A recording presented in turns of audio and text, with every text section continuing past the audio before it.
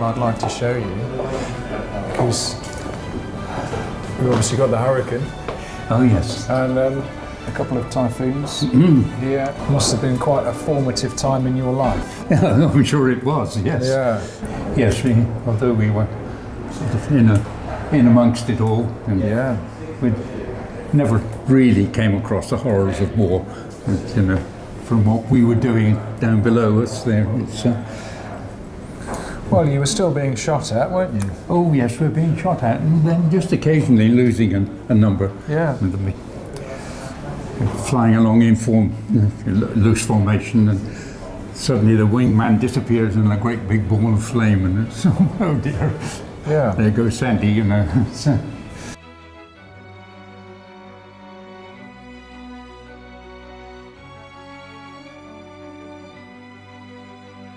We have a present for you, Bernard. Um, and this is this this is from um, a watch company called AVI8, who have produced this Hawker Typhoon watch this year um, for the project.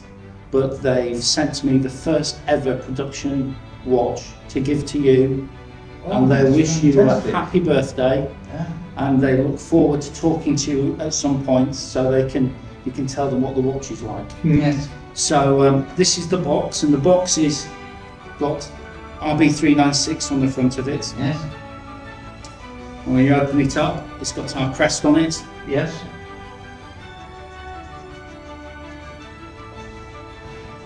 and that's the watch. So the watch is based on the dials and the instrument panel of the Hawker Typhoon. Oh, fantastic. There's only 800 of these being made, and this is number 800 Yes. for you to wear whenever you wish. Yes. That's marvellous. It's engraved on the back with the um, with the number and and Sheila, because RB396 was called Sheila on the back of it. So please um, accept this uh, on behalf of AVI 8 as Yeah. a 100th birthday present for yourself. Oh, yes. Oh, thanks very much. It's a pleasure. It's a Yes. pleasure.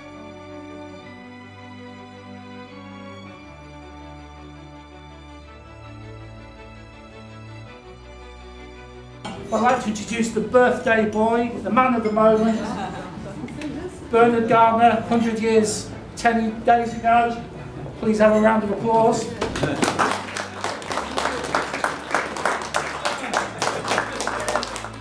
This painting is Bernard's favourite typhoon out of the mm. quite a few that he flew. Mm.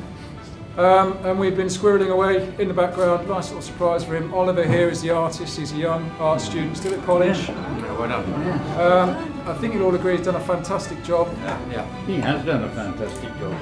Yes. And uh, you will all have had the email from Richie saying this is what we're making prints out of. But the original canvas, somehow Bernard is going to be taking home with him to Jersey. Plus GST. So that's yours Yes. to take home and Oh, hang you on your wall much. for years to come. So uh, thank you to Oliver, thank you to Bernard for being here, and uh, cheers everybody. Cheers. And a happy birthday. Thank you, Oliver.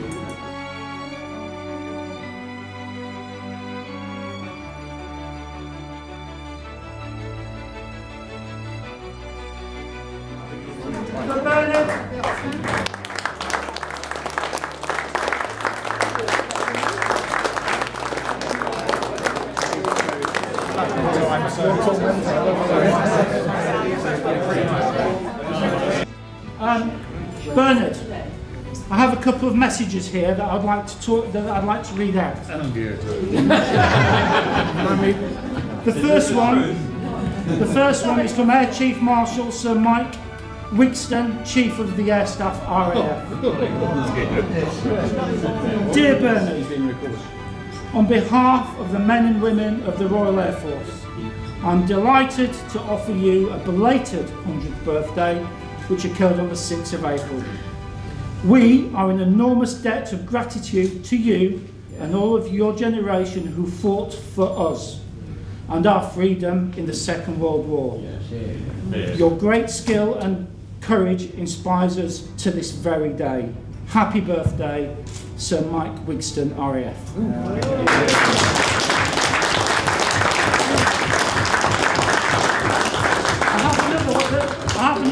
it's a bit longer, but I think it's important. So this is from Air Commodore, Air Commodore Mike, boy, it's that wide.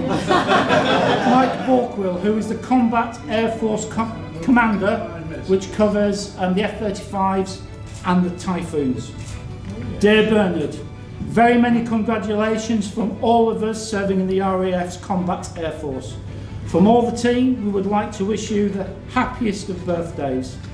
Achieving a 100 not out is always to be admired greatly, and the service you have given to your country on all those years um, of flying that took after the in the RAF.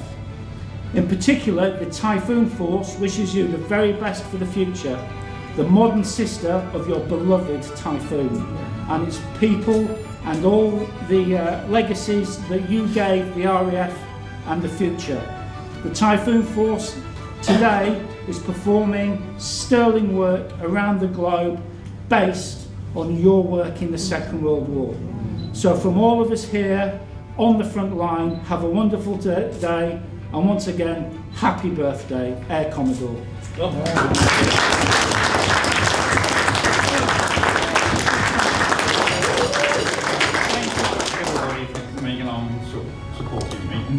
and Hilditch.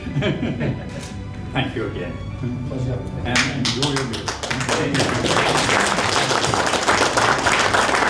Uh, we've got a happy birthday message from the current boss of the Red Arrows for you. He's done a little video. Uh, and Mike Ling, who you met at the ball last year, uh, former Red Arrows, longest serving Red Arrows, he's one of our ambassadors, and that's on behalf of the Blades Aerobatic team. Uh, we've got some others to write in here, there's, there's loads. okay. Um, I picked this up the other day. Um, this is from 29 Squadron. Oh, doesn't it, Mick? are the modern day OCU. Um, a few friends of mine on their names I recognise. Speak up! so this is from 29 Squadron, the modern day Typhoon OCU. Happy 100th birthday. It's every member of the squadron has signed that for you. Uh, so picked that up the other day. some souvenir. That's something else for you to take home with you. About or with the luggage allowance, I think you'll be fine. GST. Bernard, I have another message. This is this is the last official one. So this is from a certain Air Marshal retired Cliff Spink, who is the patron of the Hawker Typhoon Preservation Group. He sends his apologises. He, he wished he could have been here tonight. So Bernard, very many congratulations on reaching your tongue. You are already an example to all of us with your wartime involvement with the Typhoon, and now you can add this notable life milestone to your list of achievements.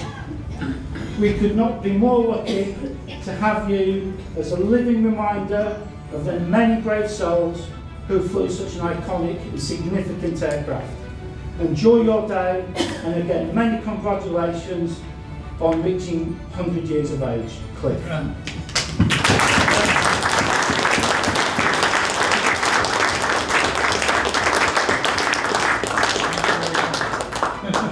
Happy birthday to you. Happy birthday to you. Happy birthday, dear Bernard. Happy birthday to you. Happy birthday!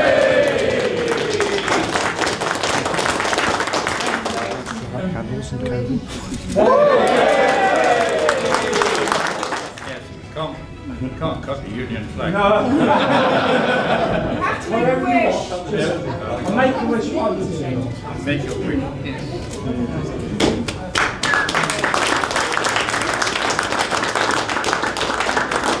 Ladies and gentlemen, it's me again. Um, can I ask you to all to be seated, please? Um, and once you're all sat, I'm going to introduce you to Colin Bell. Many of you know. Those of you that don't, Colin has um, had his 101st birthday um, not so long ago in this very room. He's a personal friend. He's a supporter of the project. Um, a wonderful man, and um, I think it's quite apt that he's agreed just to say a few words tonight um, for Bernard and the family. So I'd like to introduce you to Flight Lieutenant Colin Bell, DFC.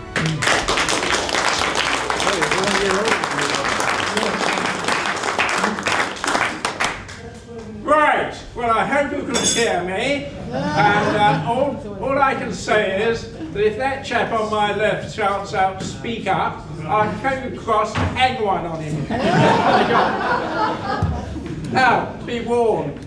Um, ladies and gentlemen, uh, I've been asked to say a few words uh, about our guest of honour, Bernard Gardiner.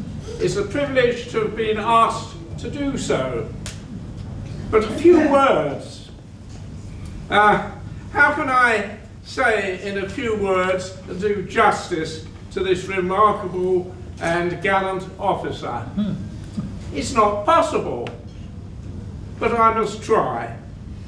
Bernard was born on the 6th of April 1922, so he's just a little over 100 years old, in itself a milestone. He was born in Moose Jaw, Saskatchewan, Canada, uh, where his family ran a cattle ranch, uh, but the family returned to England, and he was there when war broke out. And as he himself said, I always wanted to fly. Uh, he won a ticket in a competition which gave him a flight in um, Alan Cobham's flying circus. And that was it. He was hooked. He was away. Now, uh, when war broke out, um, he, uh, he was like many red-blooded men of the time, he volunteered to be a pilot in the RAF. Uh, it, uh, he was accepted, but um, not everybody was. It, um, he was lucky. Uh, or perhaps his ability at interview um, was persuasive. Anyway, however it worked out, uh, he was accepted and after initial training uh, he uh, was sent to South Africa uh, for flying training, graduating on North American Harvard aircraft where he gained his wings. And we have something in common there because I too uh, gained my wings on North American Harvards. Um, they were wonderful aircraft to fly, uh, but you couldn't take risks with them because if you did, they could kill you. But fortunately, neither Bernard nor myself uh, were killed. Uh, perhaps we didn't take any risks.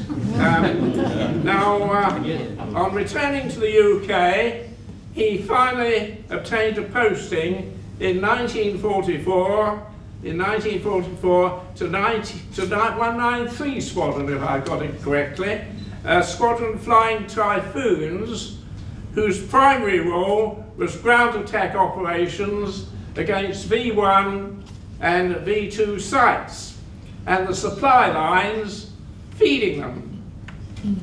I'm sure he has some hairy stories uh, to tell of these experiences, although I've never heard them. I intend coaxing some of them out of him in the Cowdray Lounge bar after this dinner. Uh, I believe that only 50% of Typhoon pilots survived encounters with the enemy. So it was a pretty dangerous uh, uh, role to perform. Um, he recalled that the Typhoon was a lovely plane to fly with immense power. And his only encounter with enemy fire, he said, I don't believe him, uh, was when an anti-aircraft shell burst uh, close to him and a splinter took out his radio set. He said, I was lucky. Lucky? Well, I suppose it's a point of view. He was certainly lucky to survive. He flew in all uh, a total of 71 combat missions over German occupied Europe. And following D-Day, remained in the RAF for 18 months, returning to the UK to qualify for a civil pilot's license. Now his first job, as I understand it, was a civilian pilot with Scottish Airlines flying Dakotas, which must be very different from flying Typhoons.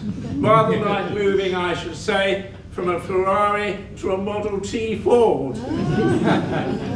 Perhaps Bernard will comment on this when I finish speaking. And after being made redundant, he accepted a position with Jersey Airlines, flying Rapides, Dakotas again, and then Viscounts. He completed his career, and what a career, ladies and gentlemen, ending up as chief pilot and operations manager of British United Island Airways, finally retiring in 1982.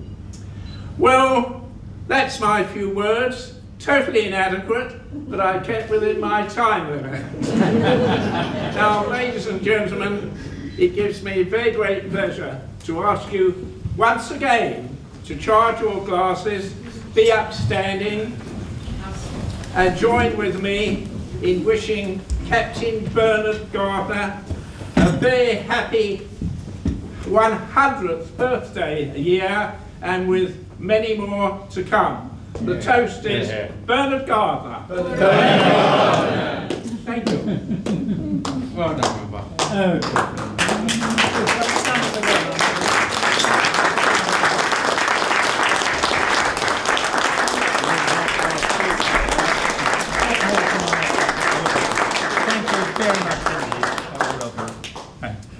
Thank you so much, Colin, for doing that. Very much appreciated and fantastic to come from a man himself who faced the German forces in all its might during the Second World War. On behalf of all of us, thank you for your service and for what you did for us. And I'd also like to acknowledge um, George Pritchard as well, who's a Mosquito pilot and has come this evening with his son. Um, as you're all aware, 299 years service in the RAF. True heroes in my eyes and must be acknowledged as such. So I'd like to just uh, appreciate and put our hands together for the